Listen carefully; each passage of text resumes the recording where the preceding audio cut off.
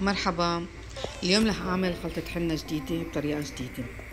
هون عم بغلي زرفين ميرامية وهون عم بغلي شاي أسود. عادي. الشاي اللي بنشربه. حطيت زرفين وهون حطيت زرفين. تمام؟ وهون بالطنجرة حطيت كوبين مي رح أحط شوية كركديه. رح أحط شوية ورق غار. كم حبة لحط شوية روزماري. ولحط شوية حبة البركة السوداء. وهلأ لحط هون بصل صغيرة وشوية فصوص ثوم حسب الرغبة كمان مش شرط تقيدي بكمية معينة. أنا قصيت ثوم صغير شوفوا كيف. رح نخلطهم مع بعض بس يغلوا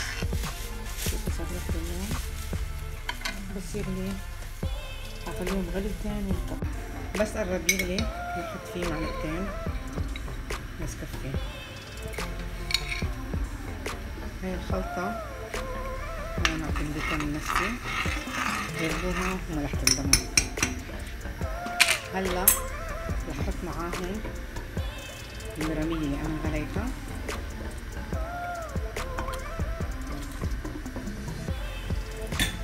الشاي اللي أنا غليته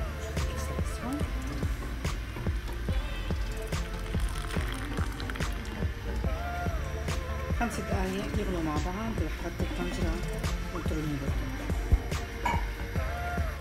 هلا غطينا الطنجرة عشان يغلوا خمس دقايق والزيوت ما تتطير لبرا تمام؟ وهيك صارت عنا الحنة جاهزة شوفوا لونه المي تبعتها غامقة وحلوة. هلا رح ندمجها مع الحنة وباقي المكونات وهلا رح نصفي الخليط اللي غليناه على النار. هلا رح نضيف فوقها فوق الخليط مايونيز زيت الكوكونات زيت الجوبا زيت اللوز زيت وعسل معلقة عسل وكوكونات البكر. ورح نضيفهم بجات صغير مع بعض مع الحليب هلا بهالجات رح نحط معلقة لبن روم. معلقة جوز ورح نحط بعدين معلقة عسل. ومعلقة عسل مثل ما قلنا.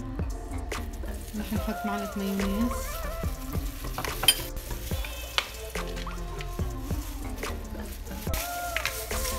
جيب الخلاط بسرعة.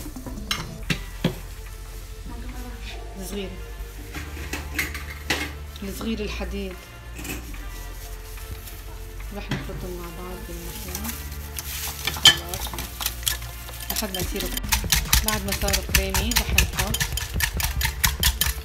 معلقة حنة شوي هاي واحد وهاي اثنين. وهاي ثلاثة ونخلطهم ليصيروا كريمي. وهلأ بالتدريج رح أحط فوقه المي اللي أنا خلطتها. وصفيتها ونخلط شوي شوي. نضل نخلط فيها. لتصير ناعمة وشكلها مثل شكل الكريمي وهيك صارت جاهزة عنا. شوفوا كيف كريمية. رح نتركها ساعة تتخمر بعدين نحطها على راسنا لمدة ساعة ساعتين ونشطف شعرنا بالصابون. يعطيكم العافية على المتابعة وما تنسوني من ال share وال like إذا عجبكم الفيديو ما تنسوا الاشتراك وتدقوا الجرس وتعملوا like وشكرا لكم.